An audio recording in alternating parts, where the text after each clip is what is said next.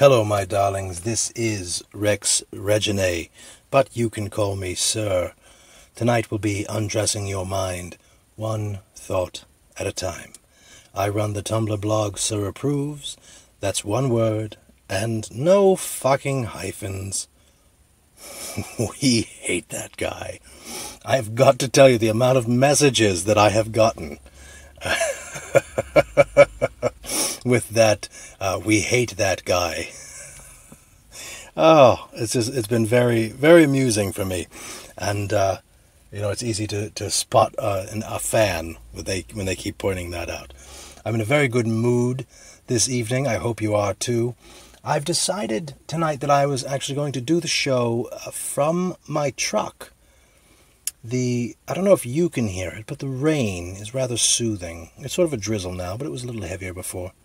Uh, I was going to set up on my patio, but there's a lot of street noise and things like that. I, I, I think this is, it's nice for me, and I hope it's nice for you too.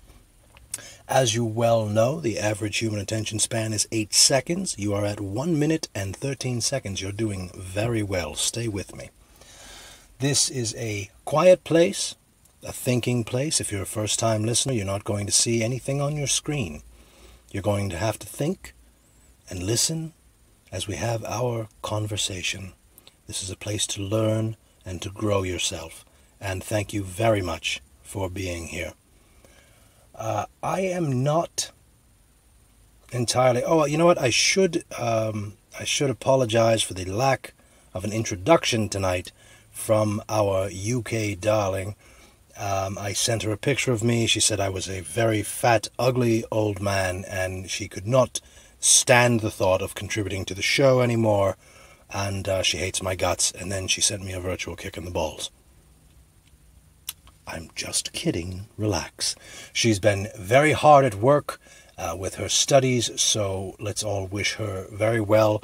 And a big thank you for all the introductions that we have had, and we look forward to uh, many more to come. Thank you very much, darling. It's a great contribution to the show. Uh, blah, blah, blah. What was I going to talk about tonight? I'm in such a good mood, I don't know what the hell I'm talking about. Uh, I'm not um, huge into the universe as far as, uh, you know, put things out to the universe and things like that. I am to an extent. Uh, but I am into very much the law of subconscious attraction and letting things flow the way that they should.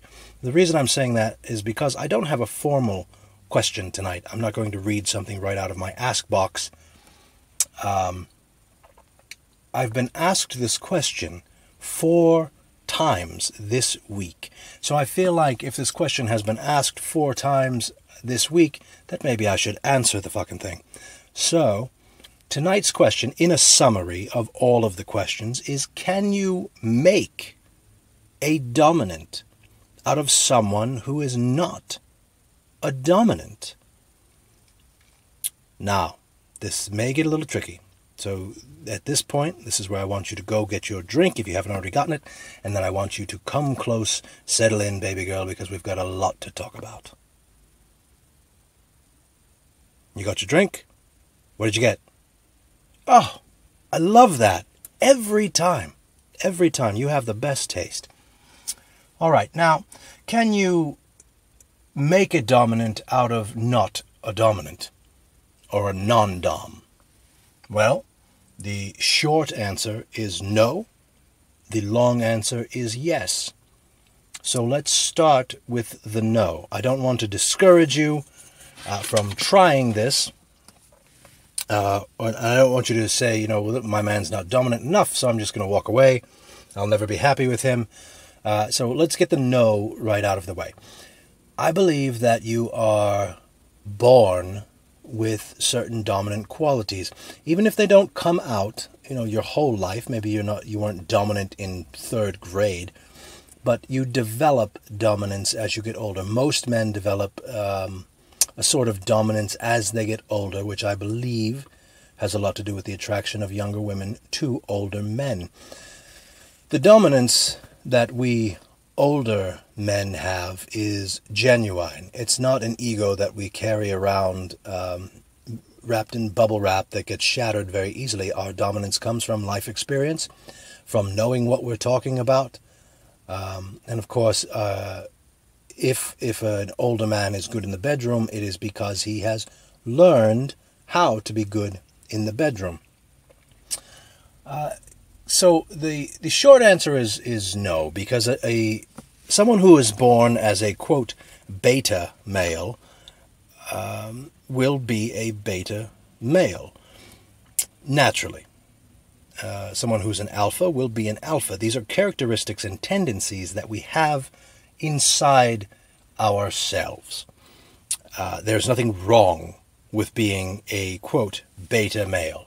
Not everybody can be an alpha, or that wouldn't be alpha, would it?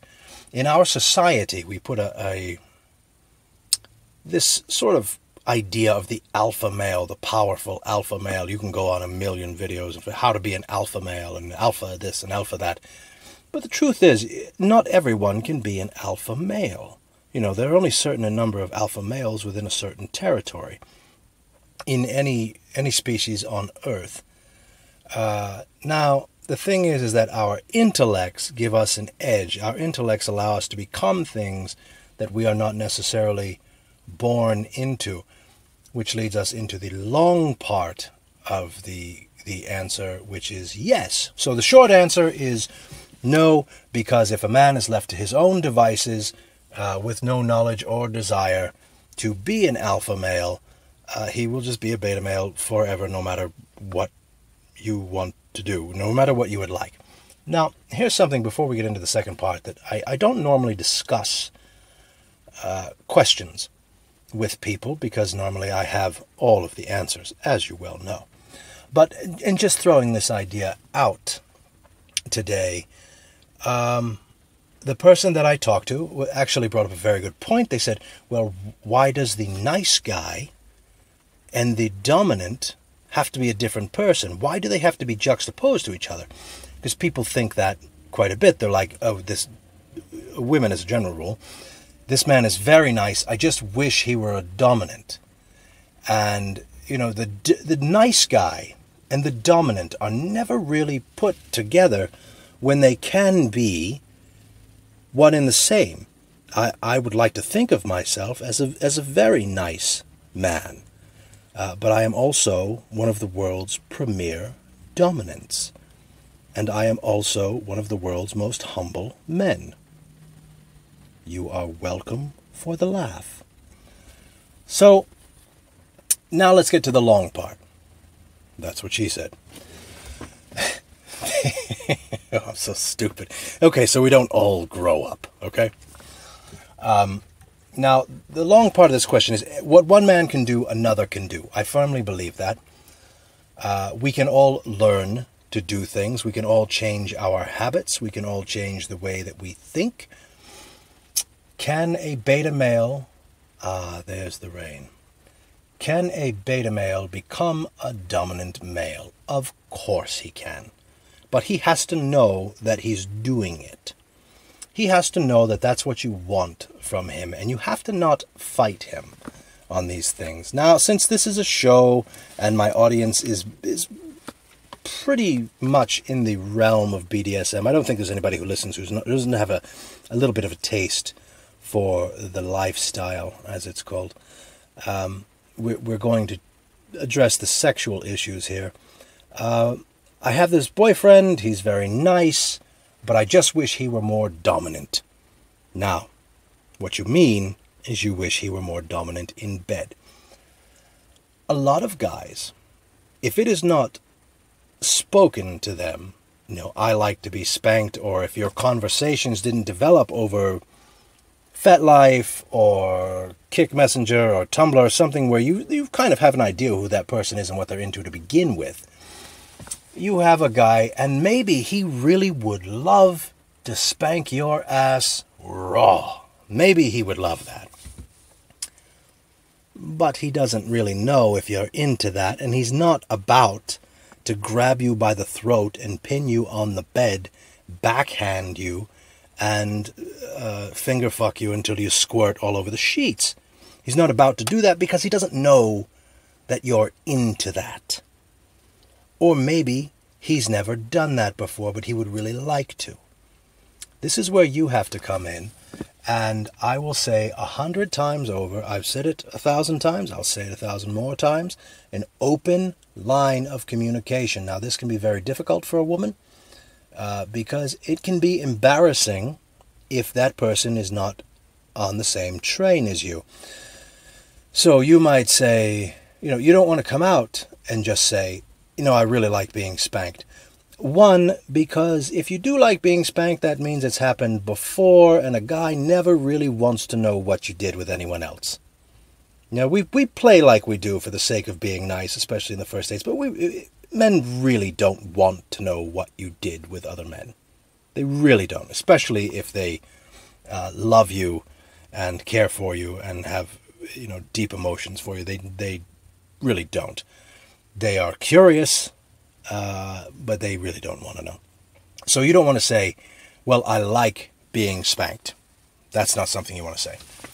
You want to say, uh, here's a good example. You say something snotty or sassy in a fun way. And he says, Well, aren't you in a mood tonight? And you say, What are you going to do, spank me? And you do that little turn thing that you do and the little look over the shoulder. Now, you see, that's a cue. That's a cue. You're presenting, you are the one presenting the idea of being spanked. So now he's thinking, is she serious? She let me spank her? And, and over time, if he, you know, he, it might even be that night. Uh, he, something you're telling him subconsciously that you are comfortable with the idea. You're not addressing the egoic mind. You're addressing his subconscious. You're sending out a cue that that is something that you would like to experience. Uh, I've been asked through the years a number of times, how do I get my boyfriend a number of time, ugh, a number of times, uh, how do I get my boyfriend to be more dominant with me in bed? Look at things. Send him naughties. Are, are you doing your part in the seduction process? I think a lot of women think, uh, you know, that guys should be the ones constantly doing the seducing. Uh, in a relationship. It's weird how women do the seducing in the beginning, uh, and men are then left to seduce forevermore. Keep that seduction up. Send send a picture of your butt. You know, if you're comfortable. You know, go back to my video on naughties. If you are comfortable, if you're not comfortable, you know, skip this step. Move, turn to side B. Um, mention things in conversation uh, send him, you know, a meme that is something, some funny thing about choking, like the, like, um, you know, that one that's floating around. Does your life insurance know that you like being choked when you're having sex? Send him that meme because it's a joke.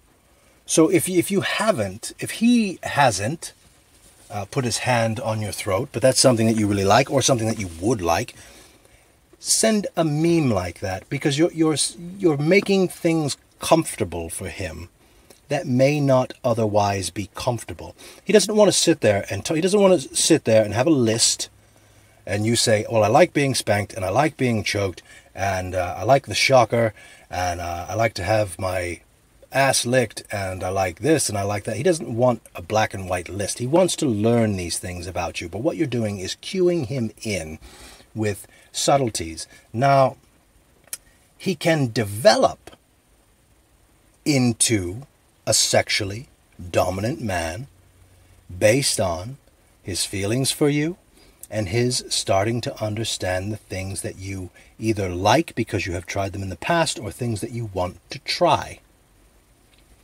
So your your open line of communication is in this case is not just uh, sitting and talking. You are sending him cues about things that you like or would like to try? So the long answer is yes. Yes, you can turn a non Dom into a Dom if he wants to become one. The shorter answer is no. The thing that you need to realize, ladies, is that it will take some time and it will take some effort. And he is going to feel ridiculous doing these things. That's just the it's just part of the learning curve he will feel ridiculous. You know, when you when you say, you know, what are you going to do? Put me on your knee, Daddy? And uh, you know, for, for me, that would This sounds ridiculous, but you know that would be something almost expected uh, to be said to me uh, where I am now. But there was a time in my life when that that would have been a weird thing for a woman to say to me. You know, don't you think you have you have to start somewhere? Um, so patience is the key. Can it be achieved? Yes, all things can be achieved. You need to take time and use subtle cues. Don't overwhelm the poor bastard, okay? He uh, probably has enough on his plate. Men, as a general rule, I know you don't think this, women, because there are so many shithead men out there, but when you are with a man, he wants to make you happy. He really does. As a general rule, he really does. Sometimes he just doesn't know how to do it. And I think you can be fair and cut him a little slack in that area because sometimes you don't even know how to make yourself happy, right? What's wrong? I don't know. Are you sure? What's wrong? Everything. Nothing. I don't know. Let's be fair. Okay? So he wants to do right by you. He wants to please you sexually and emotionally. And if you want a dominant if you want him to be more dominant, you have to act more submissive. It seems counterintuitive, but you have to start somewhere. If you're starting with this material, I really like this guy. This guy is my guy. He's my person. I love him. Or I just really like him a lot. Or I'm very sexually attracted to him you need to play submissive to bring out his dominant. Does that make sense? In most cases, it is the dominant male who will bring the submissive out of the woman. But we're talking about a role change here. And you need to be submissive to bring the dominant out of him. It is possible uh, it's yes or no. He he has to want to, and you have to want him to. There there has to be some patience involved in that. So I think we've satisfied that question to the universe that asked it four times this week. Uh, I will have plenty more for you next week. I have several sort of hard pressing questions that I need to think a little more about how I'm going to phrase it and how I will answer these things in the matter in a matter of 20 minutes. Um, so if you do like the show, please uh, like, subscribe. I thank you very much for listening. Ah, oh, here comes that beautiful rain. Isn't that wonderful? It is the April showers that bring May flowers after all. And what a life lesson there is in that. Until next week, all of my best and all of my love. Sir.